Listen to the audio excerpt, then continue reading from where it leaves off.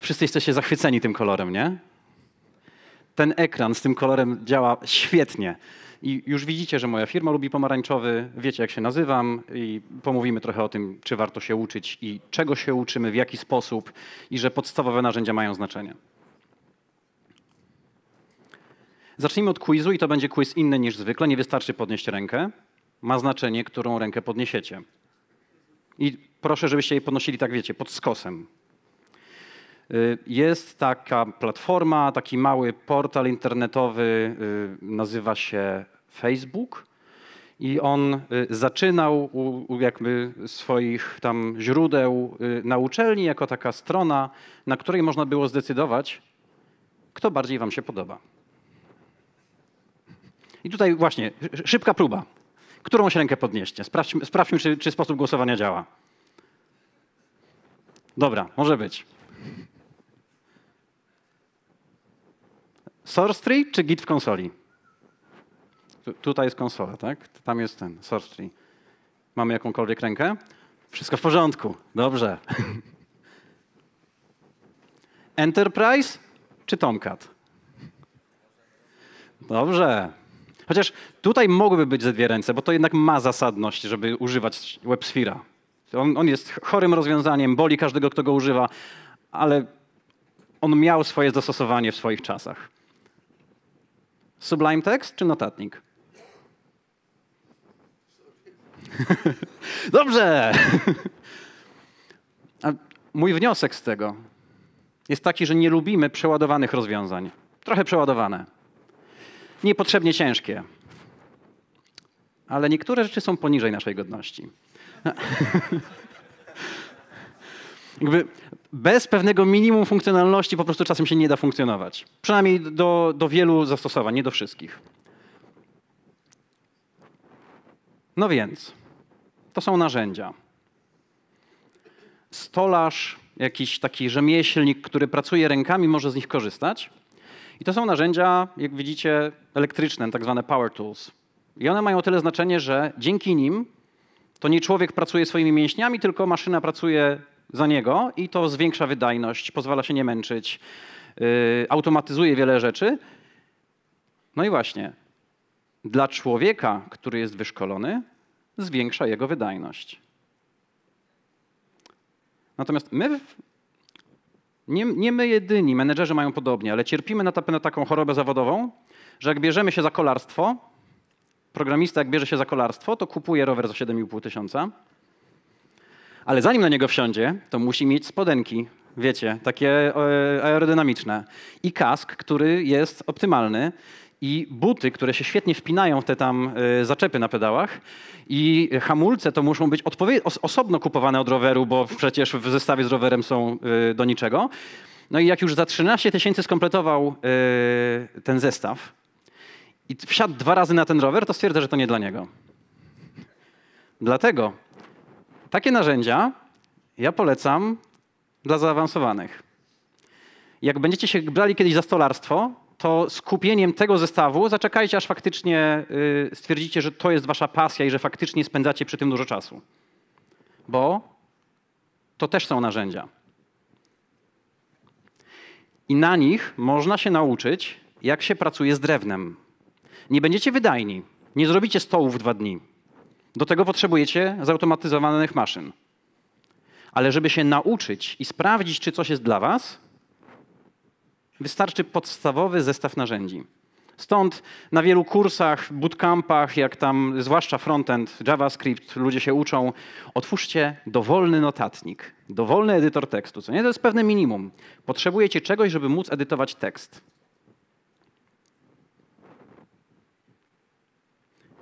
I co więcej, są takie kruczki pracy z drewnem, które tutaj wam nie wyjdą. Nigdy się nie nauczycie, że nie wolno czegoś robić.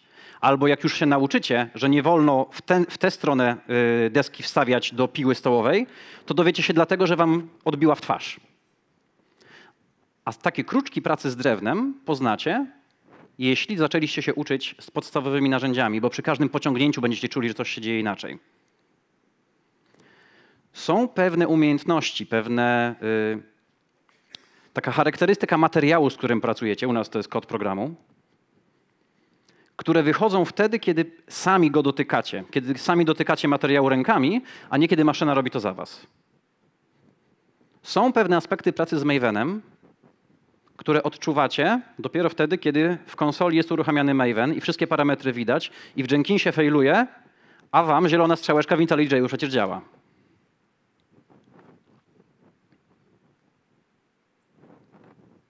Kolejny quiz.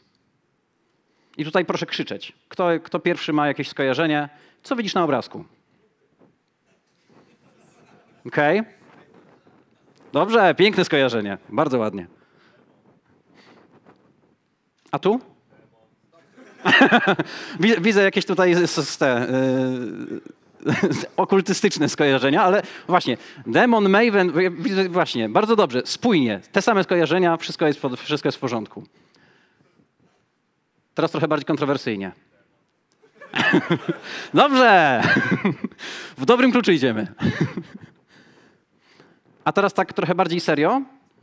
Spróbujmy to przeanalizować. Co to jest?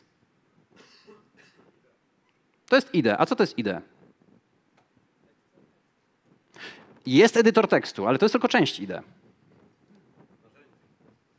Są narzędzia dostępne. Tak, są, i to właśnie są narzędzia, które niekoniecznie służą do pracy z tekstem. Zielona strzałeczka nie pracuje z tekstem. Ona robi coś więcej. To jest zadanie poza edytorem tekstu. I jeszcze coś?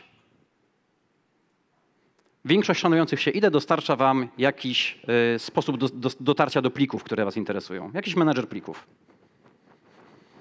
I to są takie naj, bardzo, bardzo podstawowe elementy IDE, czyli zintegrowanego środowiska programistycznego. A po co istnieje zintegrowane środowisko programistyczne? Dla wygody, żeby podnieść wydajność. A co wam podnosi wydajność? Że co? Okej. Okay. Też. Ale co jest takiego wygodniejszego dzięki temu, że to jest zintegrowane w jednym miejscu?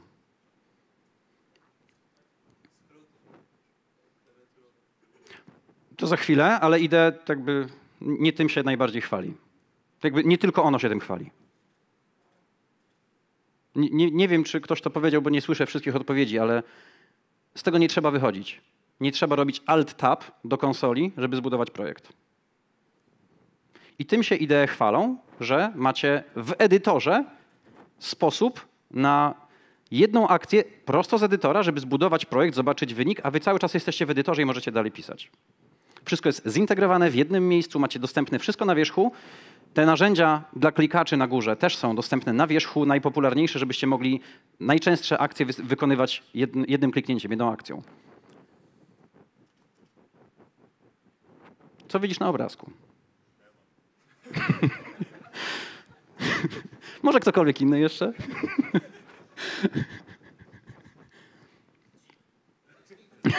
to przy drugiej plamie to było bardziej adekwatne, a nie tutaj, ale okej. Okay. Też, tak, to jest dość popularny generator ciągu losowych znaków. Natomiast ja widzę edytor tekstu. W IDE mieliśmy edytor tekstu, ja widzę edytor tekstu. To jest bardzo sprawny, dobrze zbudowany edytor tekstu.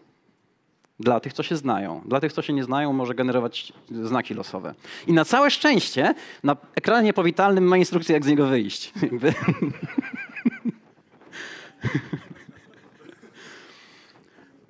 jak wyjść z Wima w 20 prostych krokach, to jest osobny temat na prezentację, co nie? Co mogłoby pójść nie tak? Ale właśnie, to jest edytor tekstu, ale trochę mu brakuje. Bo to on pozwala edytować plik, do którego weszliście, ale sam w sobie y, no, jest trochę bardziej ubogi niż to. Nie mamy zarządzania plikami, nie mamy tych narzędzi jeszcze, powiedzmy, nie, nie jakby, nie możemy y, zadania odpalić w tle, builda i zobaczyć y, jego wyniku, jednocześnie będąc cały czas w edytorze. Na szczęście istnieją inne proste narzędzia, które mogą się dobrze dopasować do naszego edytora. Poznajcie y, menedżer okien w konsoli, Tmux. Teraz mamy edytor tekstu, widzimy pliki i mamy jeszcze widget z zegarkiem. Prawie jak na pulpicie, co nie? A dla tych, co nie wiedzą, tam na dole mamy jeszcze e, dwa dodatkowe okna. Alt-Tab, tylko że robione inaczej i możemy się przełączać pomiędzy zadaniami. To znaczy, że możemy mieć jakiś build w tle, a jednocześnie wrócić do edytora i kontynuować. Ale można to pociągnąć jeszcze dalej. To jest Tmux na dole. To jest nasz edytor. Ten edytor dostał pluginy. Pluginy pozwalają y, na interakcję z Gitem.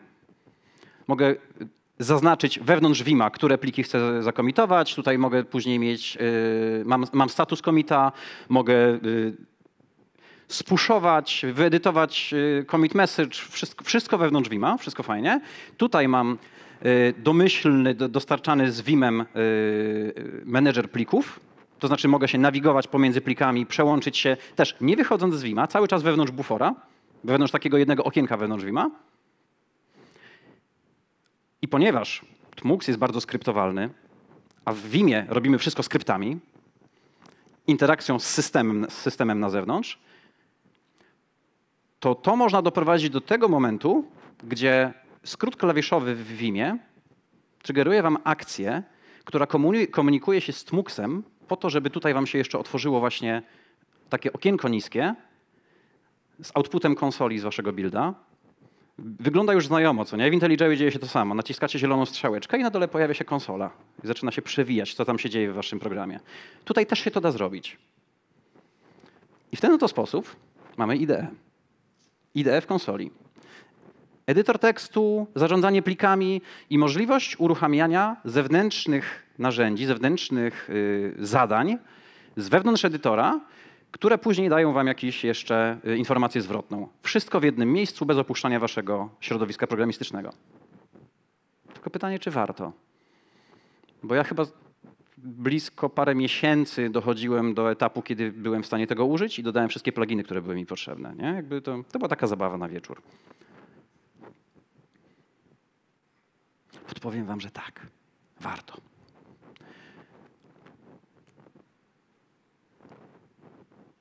Pytanie do was. Jakbyście mieli powiedzieć, jakby patrzycie na takiego szaleńca jak ja, co nie? To, to w ogóle to jest zapis historii, yy, historia choroby umysłowej, nie? Yy, patrzycie na takiego człowieka jak ja. Macie pewnie w firmie takich ludzi. Kto używa Wima? Co to jest za typ człowieka? Nie słyszę?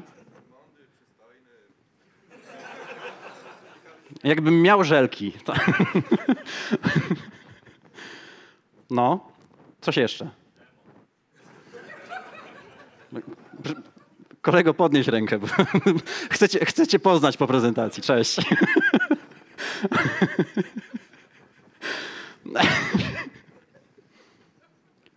Co takiego człowiek musi mieć przestawione w głowie, żeby się zainteresować tym narzędziem i tego typu narzędziami?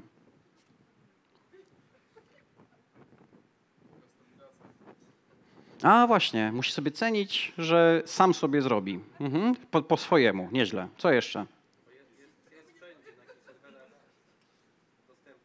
Być może jest sysadminem, tak. I bardzo sobie ceni, że wchodzi przez SSH na czarnej konsoli i ma to samo co zwykle. Maxem, do, dokładnie. Hmm. Co jeszcze?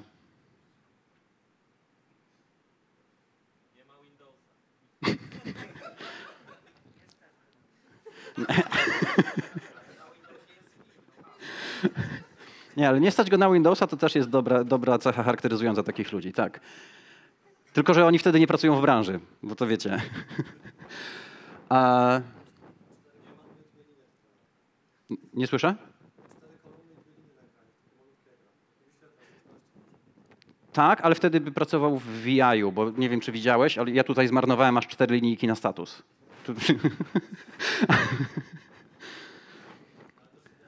No więc poznajcie pierwszy typ y, użytkownika Vima. Y, nikt mi nie będzie mówił, jaki, jakiego edytora mam używać. Dostosuję go sam pod siebie. Mój Vim jest oryginalny, tak jak ja. Użyłem, y, w, konsoli używam OMyZSH, bo jest łatwo konfigurowalny. I dostosowałem go pod siebie, ale użyłem gotowych konfigów cudzych. W Vimie używam Janusa, bo też przyszedł gotowy do użycia i ma wszystkie funkcjonalności, których wymagam i dostosowałem go pod siebie, ale użyłem cudzych konfigów. Jak widać, jestem zainteresowany konferencjami, to mi zostało. Miałem taki okres na studiach, kiedy właśnie próbowałem przynależeć do tej grupy, co nie? Tylko w pewnym momencie się zorientowałem, że nie mam wady wzroku.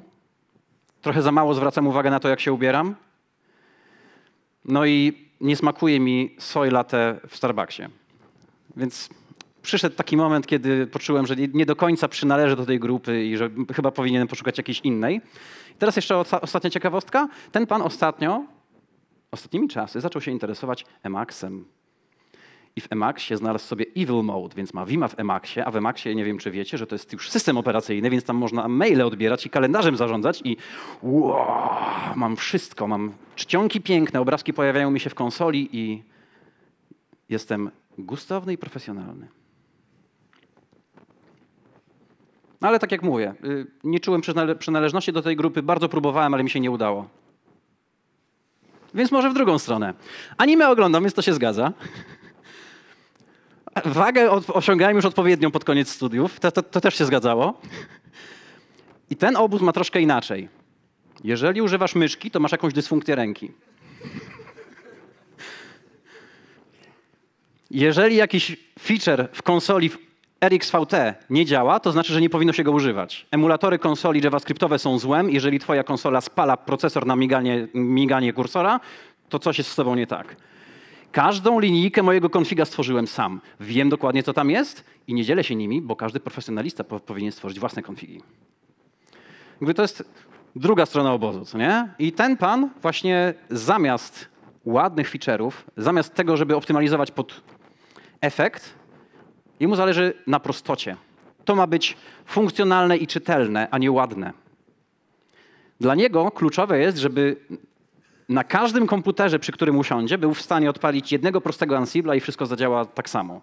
Jak się FSS-huje na serwer, to jest w stanie odpalić swój własny konfig wimowy. Jak yy, ma gdzieś cudzą maszynę, to jest w stanie tam bardzo szybko sobie przywrócić taki sam konfig jak u siebie. No ale koniec końców do tej grupy też nie przynależy, może dlatego, że jestem za mało, za mało faszystowski i nie, nie szkaluję ludzi yy, ze względu na to właśnie, czy używają gotowych konfigów, czy nie.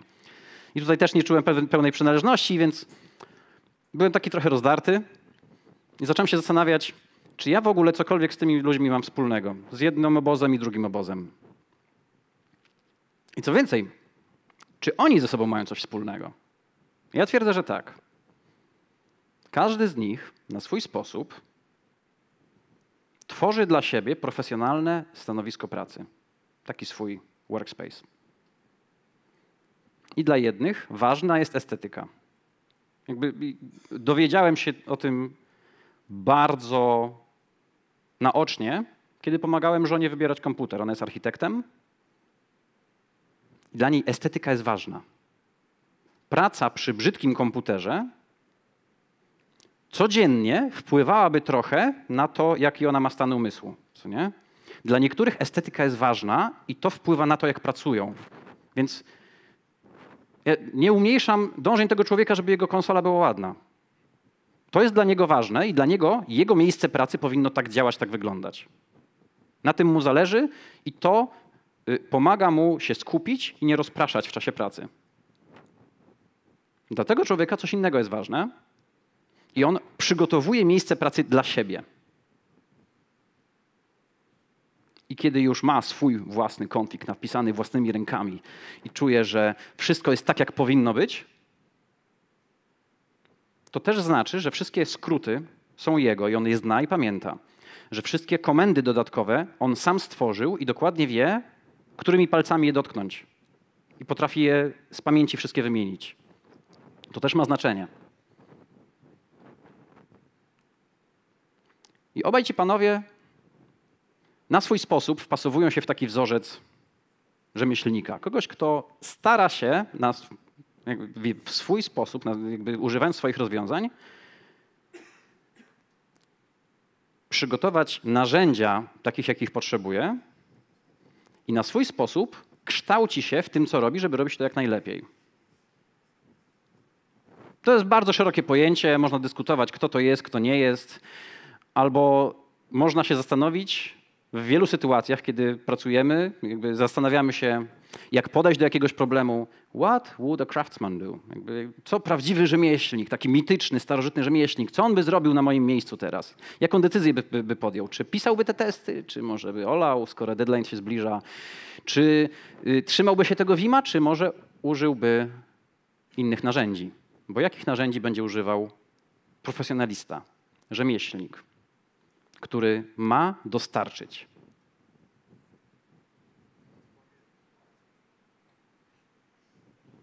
Taki rzemieślnik doświadczony będzie miał narzędzie na każdą okazję. Jeżeli zadanie wymaga specyficznego narzędzia, jeżeli narzędzie ułatwia to zadanie i przyspiesza, to on rozważy, czy warto je sobie sprawić i zatrzymać. To może być efekt tego y, syndromu programisty na rowerze, co nie? Zanim zaczęliście w ogóle y, zabawę z majsterkowaniem, kupiliście sobie warsztat i go wyposażyliście.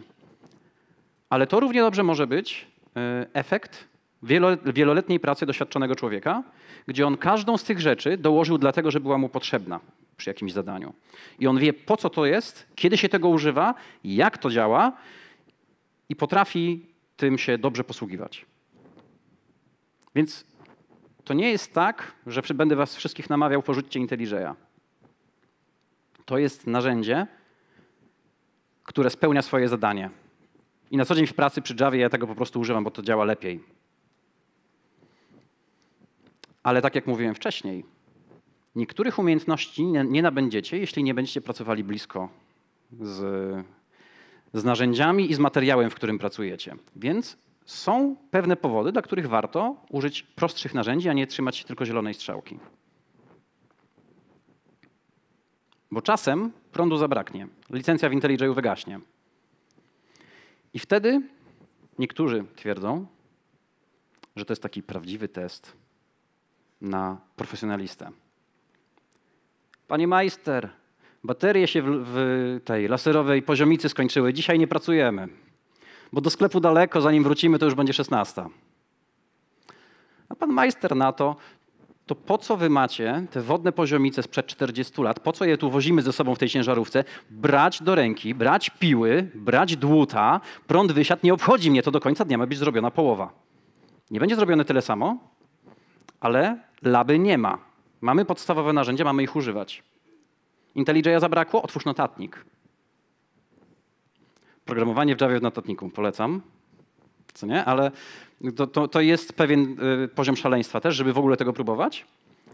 Ale jeśli nie IntelliJ, to może Eclipse, może coś innego, co nie? Jakby, albo to, to Community Edition, które też nie daje wam wszystkiego, w bazie danych sobie nie, nie pogrzebiecie, ale właśnie, ale pozwoli wam pracować na troszkę niższym poziomie. Nie wszystkie narzędzia są dostępne, ale umiecie się posłużyć prostszym, mniej wyposażonym narzędziem, bo umiecie pracować z kodem, a nie z narzędziem samym.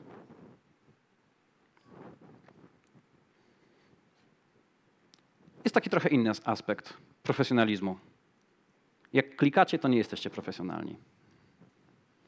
I to by powiedział ten y, pan z y, koszulką Arch Linuxa, nie? Jakby on z taką pewnością by powiedział, jeśli używasz myszki, to coś masz nie tak z twoją ręką jest. Przy czym to też nie do końca tak jest, bo każde narzędzie ma jakieś swoje zastosowanie. Do czego lepsze będzie GUI? Kiedy wam się przyda interfejs z klikaniem? Kiedy eksplorujesz funkcjonalności. Kiedy masz menu wszystkie i tylko myszką możesz przejechać i zobaczyć, jakie są nazwy. To jest bardzo ważne. Kiedy jeszcze?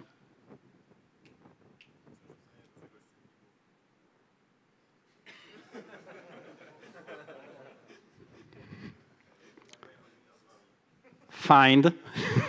w konsoli jest takie narzędzie, ale okej, okay, no tak. No i właśnie, i kiedy y, nie ma jakiegoś wzorca, według którego można je zmaczować, no to tak, otworzysz, zobaczysz, kontrol, T4. Mm, I to jest szybsze niż wpisanie wszystkich nazw w konsoli, oczywiście. Kiedy to jest właśnie jednorazowe zadanie, customowe, takie, które nie, nie podlega jakiemuś wzorcowi. A kiedy skrypty? Skrypty, komendy, kiedy one będą się lepiej sprawdzały? albo często, to jest bardzo powtarzalne. Mhm. Wieloetapowa operacja, to jest właśnie fajne, bo w klikaniu będziecie mieli wizarda nad czasem i tam przez 17 kroków będziecie się, będziecie się przeklikiwali ileś tam razy.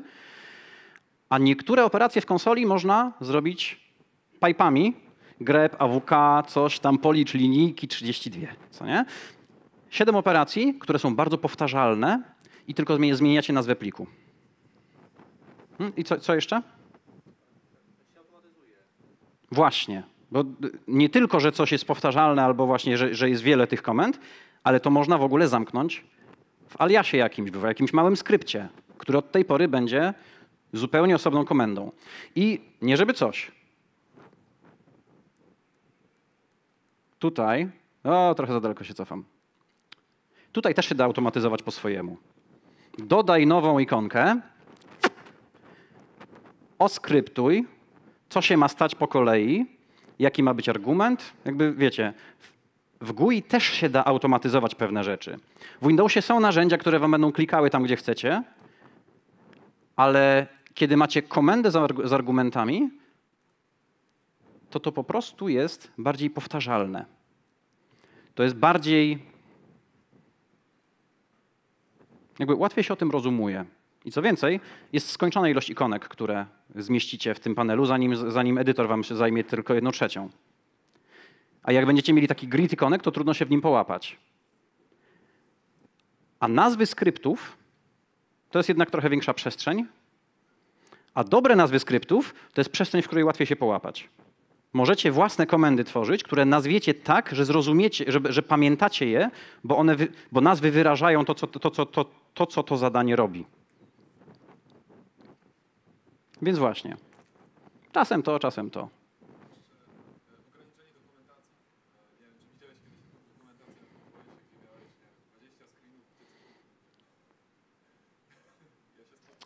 Jest w tym coś. A łatwiej zamknąć to w skrypcie i powiedzieć uruchom. Tak.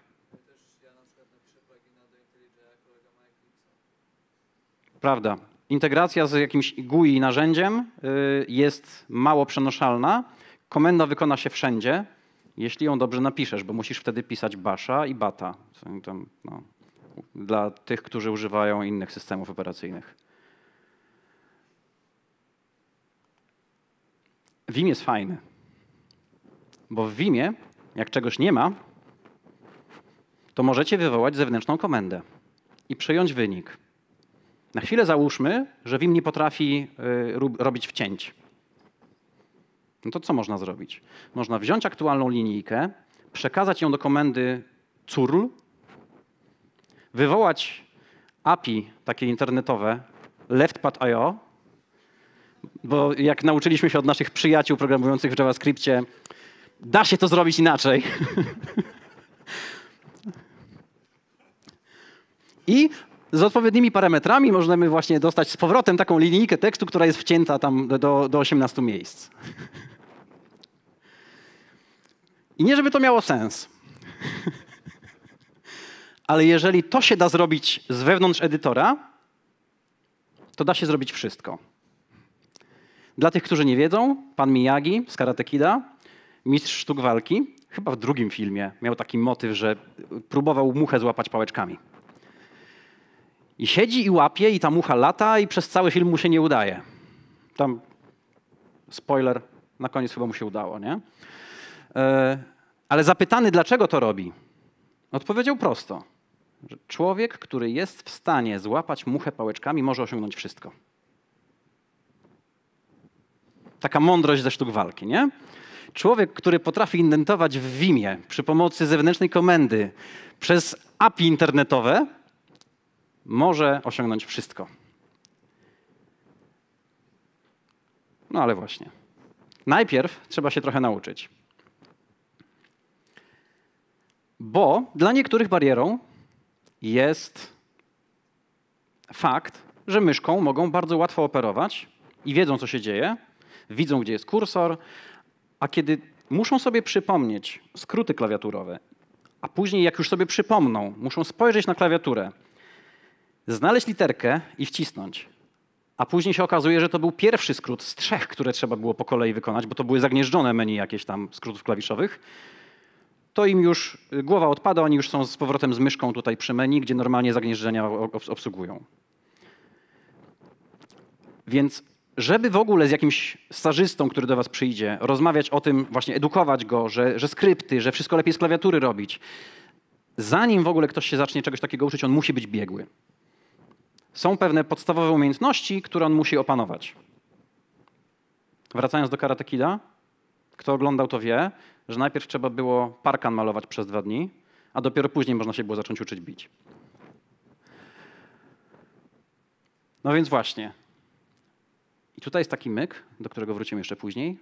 Jak nie, jak nie musicie odrywać wzroku od ekranu, żeby spojrzeć na klawiaturę, to nie rozpraszacie uwagi. To, to jest ważne, to będzie wracało. Jak już umiecie klawiaturę, to to już nie jest straszne. Tego się można uczyć stopniowo, można nie umieć wszystkiego.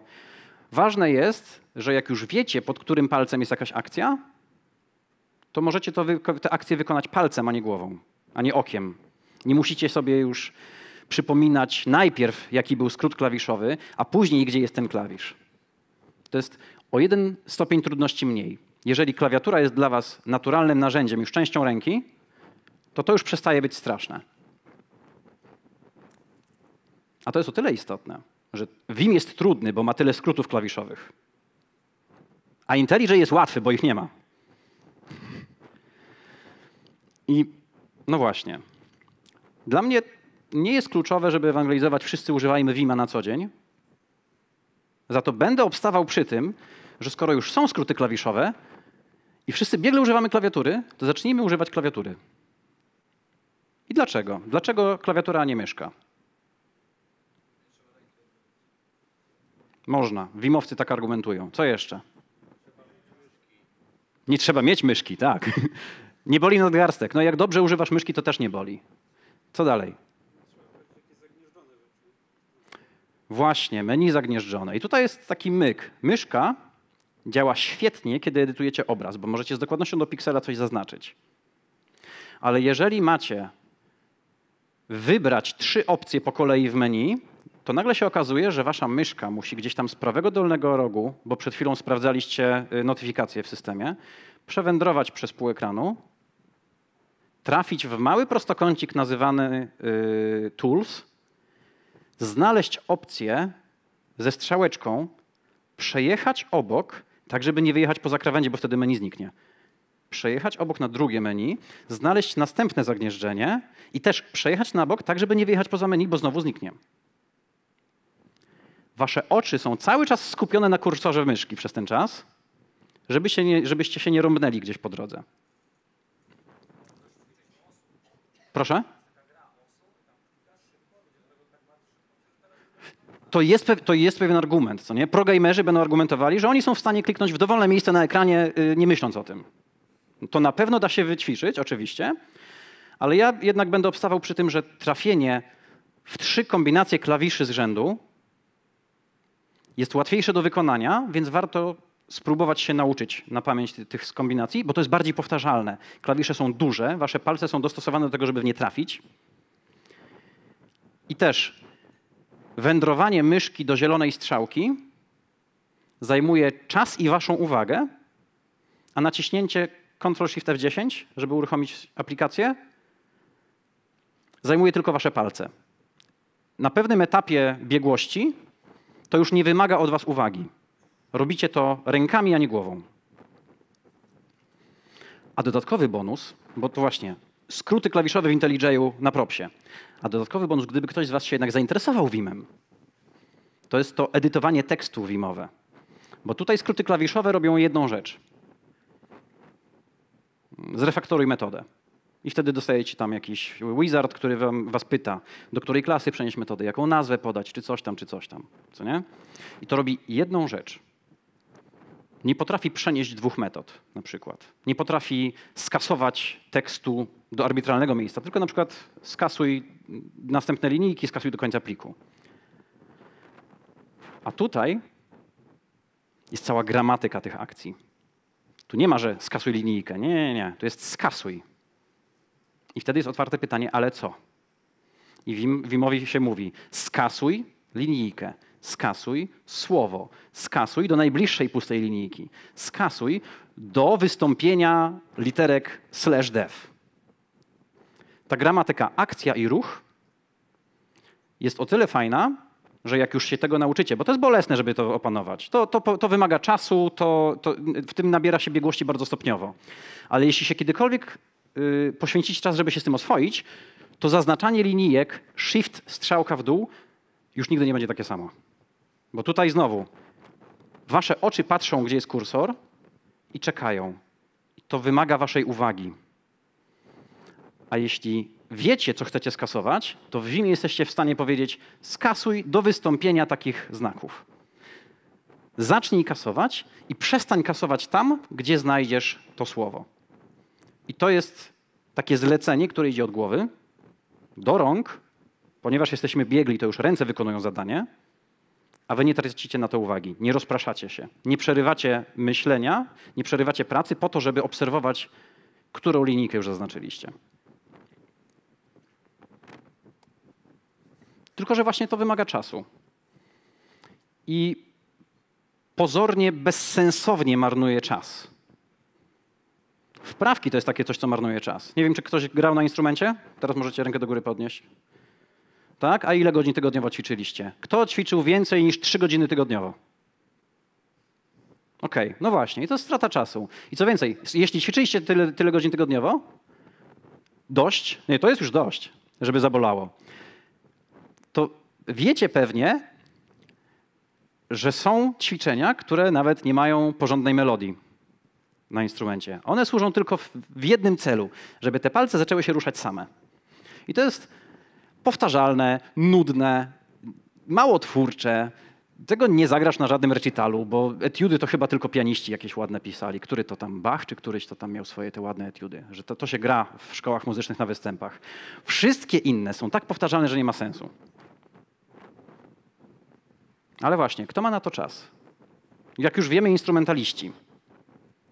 A dlaczego instrumentaliści mają na to czas?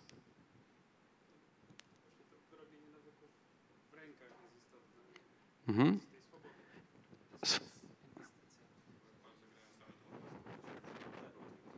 Dokładnie, bo wyrabiamy odruchy na poziomie ręki, a nie głowy, bo y, są takie w każdym instrumencie są takie zagrania, takie trudne jakieś yy,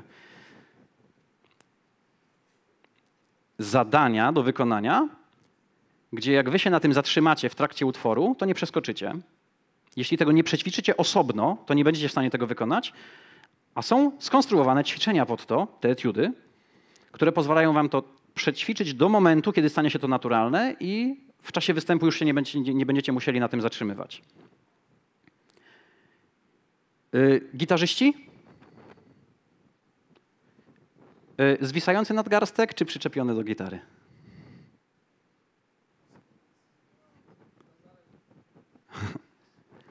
To zależy, co się gra. Y, w rokowym graniu można podobno, tak? Mnie zawsze uczyli, że to jakby to ogranicza rękę i pewnych rzeczy nigdy nie będziecie w stanie zagrać w ten sposób. Więc pewne podstawowe umiejętności warto ćwiczyć do momentu, aż są perfekcyjne, żeby was to nigdy nie ograniczało. Pisanie trzema palcami jest taką, taką, sytuacją. Bardzo dużo osiągnięcie pisząc trzema palcami, może nawet bezwzrokowo. Tak jak mówiłem wcześniej, że to jest ważne, żeby nie patrzeć. Tyle może wam się uda osiągnąć, ale nie będziecie super biegli.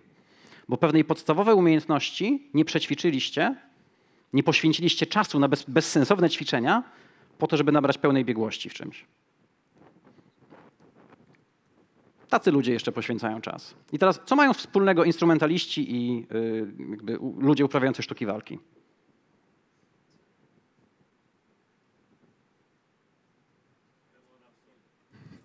Co jest ich narzędziem pracy? Hmm? Ciało. Oni nie ćwiczą skrzypiec albo nunchako, czy tam nie wiem czego.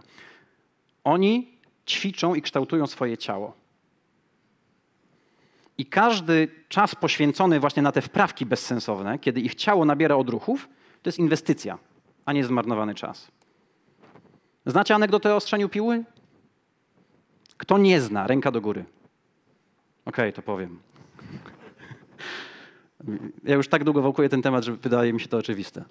E, drwale, młody drwal, stary drwal. E, stary drwal codziennie rano siada, robi sobie kawę. Przy tej kawie jeszcze siada właśnie z pilnikiem i marnuje pół godziny czasu na ostrzenie piły. No i tam powiedzmy, że codziennie w miarę wyrabia normę. Młody drwal stwierdził, że no nie, on jest silniejszy, młodszy, dajcie spokój. Przecież marnotrawstwo czasu, on pójdzie od razu i będzie wyrabiał więcej niż normę. No i faktycznie, po pierwszego dnia wyrobił więcej. Później wyrobił tyle samo, więc w ciągu pierwszego tygodnia y, przekroczył tam, wiecie, y, progi stachanowców wszelkie i po prostu był pracownikiem tygodnia.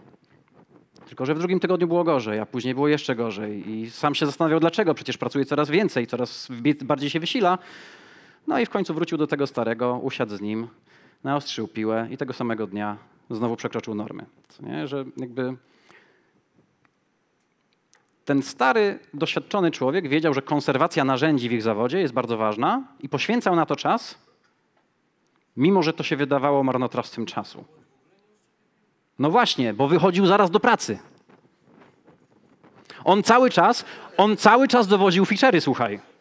On zamiast pojechać na jakiś workshop, zamiast y, usiąść przed jakim, jakim, jakąś wprawką programistyczną, głupim algorytmicznym zadaniem jakimś, on po prostu dowoził feature'y od rana do wieczora, a później jeszcze robił fuchę na, na, na boku wieczorem. On cały czas dowoził. A nie poświęcił czasu, żeby zrobić konserwację jego narzędzia pracy, czyli mózgu, no i w naszym przypadku powiedzmy, że rąk jeszcze powiedzmy, że jakby ćwiczenie na przykład pisania na klawiaturze to jest to. I tutaj wchodzi jeszcze jeden temat. Bo są wprawki, takie wiecie, algorytmiczne, ale co one nam tak naprawdę dają? Jak zrobicie sobie jakieś takie proste studenckie zadanie algorytmiczne, to co wam zostanie z tego? Nowy framework? Nie. Tam się pisze proste pętle jakieś. Czego, co możecie wynieść z takiego prostego algorytmicznego zadania?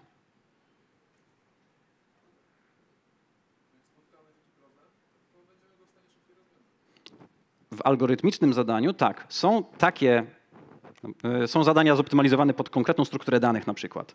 I wtedy to się staje dla ciebie bardziej naturalne. Ten problem rozwiązujemy bedrzewem. W tym problemie musi być linked lista. Tak, i wtedy właśnie uczysz się, zostaje ci w głowie y, charakterystyczne cechy tych rozwiązań. A czasem zadanie jest skonstruowane tak, że wcale nie uczycie algorytmiki, wcale, wcale nie uczycie programowania, tylko uczycie, że ten problem nie jest tym, czym się wydaje. Hmm? Niektóre, niektóre z tych pro, y, zadań algorytmicznych wcale nie chodzi o to, żeby użyć jakąś konkretną strukturę danych.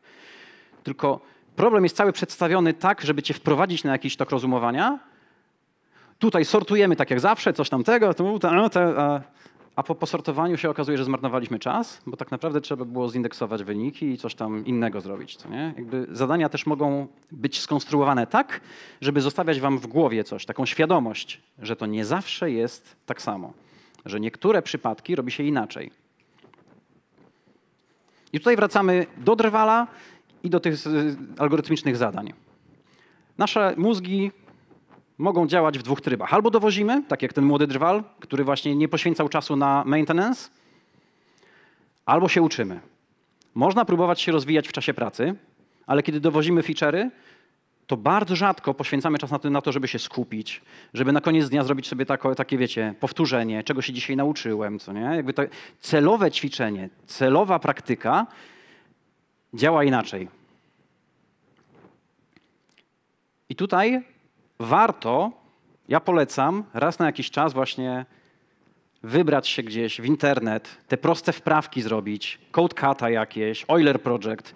To jest chyba Code Wars, jeśli nie pomyliłem nazwy, ja tam byłem przez jakiś czas. I to było bardzo fajne. Code Wars polecam, bo tam są zadania, wiecie, dwulinijkowe, trzylinijkowe, bardzo proste, yy, z oczywistym rozwiązaniem. Ale jest jeden ważny aspekt. Jak już rozwiążecie zadanie prawidłowo, to dostajecie dostęp do rozwiązań innych ludzi i tam się głosuje na najlepsze. I gdzieś w pierwszych pięciu wynikach zobaczycie jednolinijkowca. Zobaczycie rozwiązanie z regexpami albo bez regexpów. Zobaczycie y, rozwiązanie, które nie używa podwójnej pętli, tylko jest, jest zrobione optymalnie. Y, I w tych rozwiązaniach, na które się głosuje, można się na, na tych przykładach nauczyć, że to rozwiązanie można zrobić, że to zadanie można rozwiązać albo prawidłowo, albo ładnie. Co nie jakby, że moje rozwiązanie spełniło wszystkie testy, ale ten ktoś wiedział, jak to napisać elegancko. To jest, jego rozwiązanie jest bardziej czytelne i na przyszłość będę wiedział, że tak też można. Polecam. I poświęcanie czasu właśnie na takie wprawki to jest to, co wam pozwoli wszystkie te niedoskonałości w waszej praktyce wyeliminować. Tylko tutaj takie rzeczy dobrze jest robić pod kierownictwem kogoś bardziej doświadczonego. Doświadczony trener pałkarza, baseballisty, stawia go w tej klatce, gdzie oni tam odbijają na dwie godziny i ten gościu tylko macha, macha kijem w tej z powrotem, nie? A coach patrzy i yy, łokieć wyżej, E, słuchaj, a teraz zamachnij się aż za głowę, a teraz, nie, za mocno. E, z biodra, co nie? Jakby, żeby dojść do perfekcji, żeby, żeby móc powiedzieć, że to faktycznie zostało zrobione dobrze, często będziecie potrzebowali weryfikacji kogoś, kto już to umie. Per programming na koniec dnia po takich ćwiczeniach, albo właśnie podsumowanie z kimś, kto już według Was jest bardziej doświadczony, kto to opanował, to punktuje. Konsultacje z kimś, kto wie więcej od Was.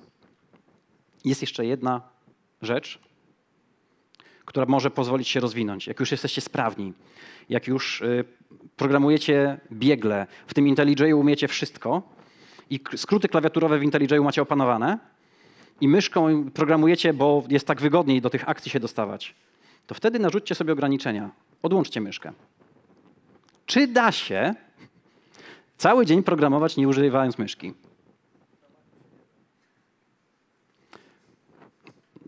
To coś masz nie tak z komputerem, co nie? Powiedziałby człowiek z Arch Linuxem na koszulce. E, kiedy już jesteście w czymś biegli, zwiększcie poziom trudności.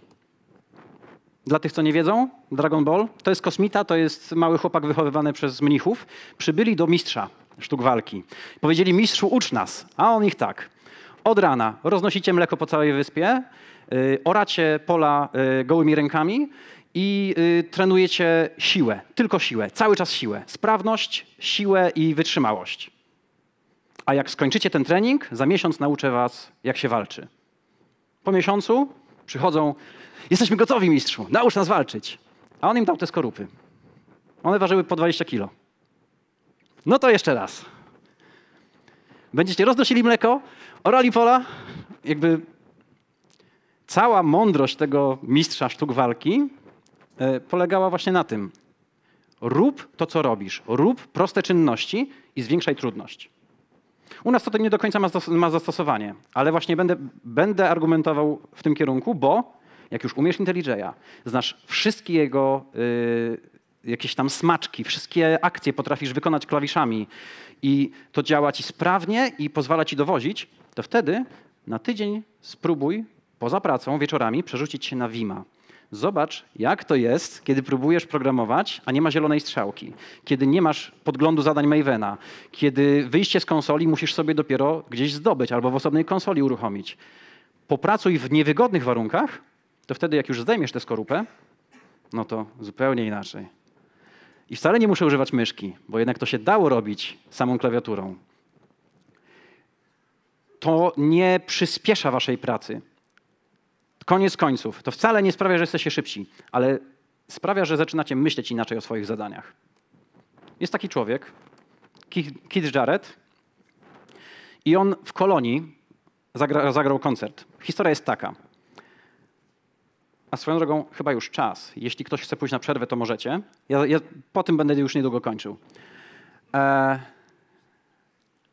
On przyjechał do Filharmonii Filharmonia super miejsce w ogóle, wiecie, y, akustyka y, jedna z lepszych w Europie i w ogóle, ale przychodzi, a tam y, fortepian jest do niego nieprzygotowany. Dziewczyna organizująca koncert bardzo go przeprasza, wiecie, fortepianu się nie da ściągnąć. On na górze nie stroi, na wysokich dźwiękach. Niskie prawie nie brzmią. Generalnie te, które są dostrojone, to są głównie czarne klawisze. On mówi, że nie, nie da się na tym grać. On wychodzi. I on wychodzi, wsiada do samochodu, ta dziewczyna za nim w deszcz, prosi, błaga, coś tam ten. On wtedy, wiecie, tak yy, znacząco, z głosem yy, odpowiednio intonowanym mówi: Pamiętaj, tylko dla ciebie. On wraca do tej sali koncertowej, y, siada przy tym pianinie, zaczyna obczajać te klawisze, no i gra koncert. Na pianinie, które praktycznie nie stroi na większości klawiszy, nie brzmi na jednej trzeciej i on gra tylko tymi, które tuż przed koncertem udało mu się obczaić, że w miarę brzmią, że on jest, jest w stanie tym, z tym pracować. I nagranie tego koncertu to jest najlepiej sprzedająca się do dzisiaj płyta jazzowa.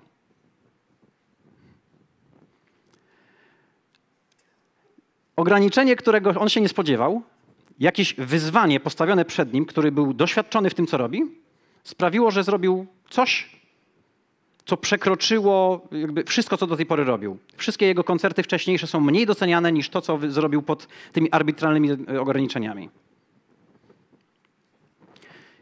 I może właśnie nauka Wima i Shella wcale nie zwiększy waszej wydajności, bo to nie o to chodzi, żeby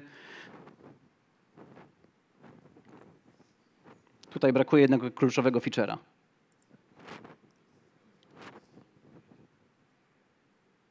Interesting.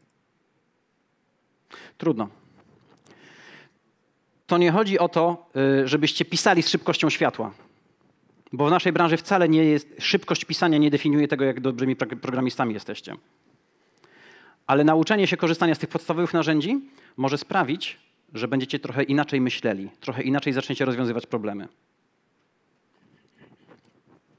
I do tego dobre jest na przykład też takie coś. Jeśli brakuje wam pomysłów, jakie arbitralne ograniczenia sobie y, narzucić, weźcie udział w czymś takim. To jest taki grupowy event. Przychodzicie, parujecie się z kimś mniej bardziej doświadczonym, a później dostajecie za, za zadanie zaprogramować grę życia. Game of Life. I za pierwszym razem programujecie to normalnie, później wyrzucacie kod po godzinie, siadacie z drugą osobą i wtedy macie za zadanie zaprogramować grę w życie. Od nowa. Tylko, że nie wolno wam użyć ifa. Po godzinie wyrzucacie kod, siadacie z kimś innym i macie za zadanie zaprogramować grę w życie. Tylko, że macie robić pair programming, ale nie, wol, nie wolno wam się odezwać. Polecam. To nie uczy programowania, to uczy wszystkiego tego, czego programista, nawet doświadczony, nie miał okazji się nauczyć. Bardzo fajne doświadczenie. Y, byłem na tym dwa razy i widziałem, jak y, ludzie, seniorzy, bardzo doświadczeni, świetni, świetni profesjonaliści wychodzili z tego dnia z głupimi zabawami w proste programowanie, z jakimś pomysłem, czego, co do tej pory robili źle. Co można zrobić lepiej.